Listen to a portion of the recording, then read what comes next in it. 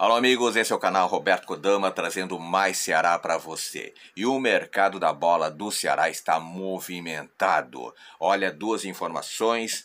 Ceará contrata goleiro Bruno Ferreira, ex-Caxias. Você vai conhecer aí o perfil do jogador neste vídeo e Botafogo compra zagueiro revelação do Ceará por mais de 2 milhões de reais. Vamos conferir essas informações neste vídeo, mas antes eu peço a você, meu amigo, alô torcedor do Ceará, te inscreve no canal. Te inscreve no canal porque aqui você tem tudo sobre o Ceará. Te inscreve no canal, dá joinha, não esquece do joinha, deixa o seu comentário, participe do canal.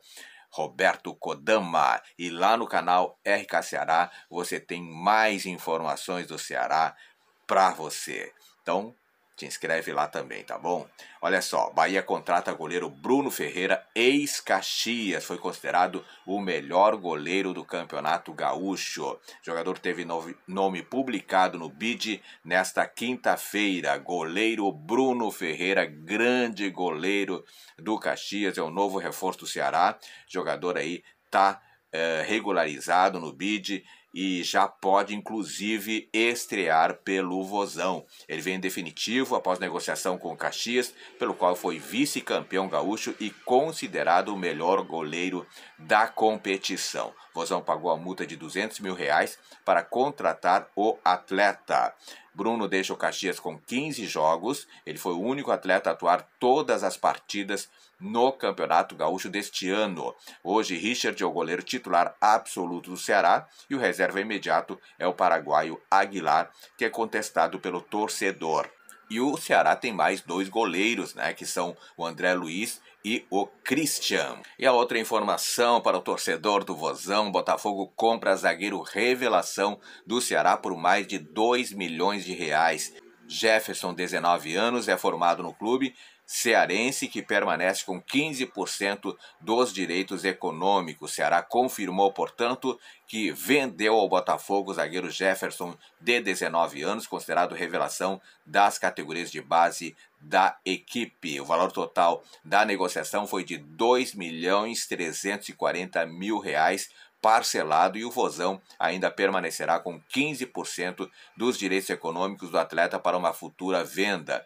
Botafogo ficará com 70% desses direitos e os 15% restantes pertencem ao jogador. Com a partida pelo profissional do Ceará, Jefferson deve inicialmente ser aproveitado pelo time sub-20 do clube carioca. E tem mais mercado da bola do Ceará. Olha só, Ceará também anunciou o empréstimo do lateral esquerdo Kelvin ao Juventude até 30 de novembro de 2023. Para isso, o jogador renovou seu vínculo até o fim de 2024. E para encerrar esse vídeo, olha só, após o final do Nordestão, o Ceará se reapresenta com foco no Guarani pela Série B. Elenco Alvinegro buscará o primeiro triunfo na competição nacional, jogo que será disputado aí no estádio Presidente Vargas.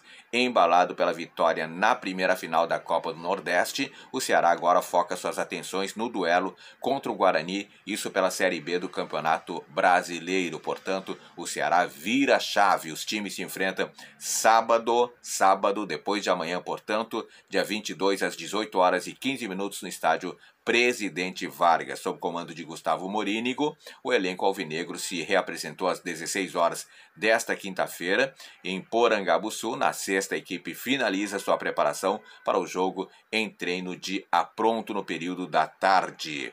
O duelo entre Vozão e Bugre, válido pela segunda rodada da competição, será realizado com portões fechados, ou seja, sem a presença do público por decisão aí do STJD, ainda na confusão aí aí do jogo do ano passado pela, pela Série A, né? O Ceará teve pedido de conversão de, da pena de perda de, de mando parcialmente deferido pelo Superior Tribunal de Justiça Desportiva do Futebol, o STJD.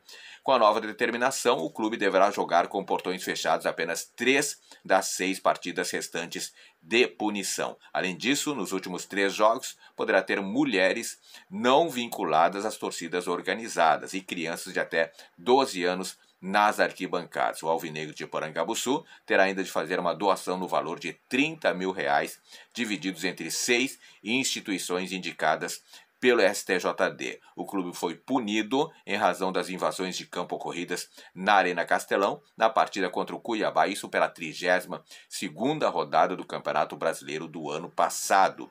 E com a decisão, o Ceará poderá receber o público determinado pelo STJD nas seguintes partidas. É, isso na Série B. Grêmio Novo Horizontino, dia 26 de maio. Chapecoense, dia 30 de maio. E CRB, dia 9 de junho. 10 informações do Ceará para você aqui no canal. Roberto Kodama. Se gostou do vídeo, dá joinha. Dá joinha que sempre apoia o canal. E o mais importante, meu amigo, te inscreve no canal. Te inscreve no canal, porque aqui no canal Roberto Kodama eu trago sempre novidades do Ceará para você. Muito obrigado, beijo no coração e fique com Deus.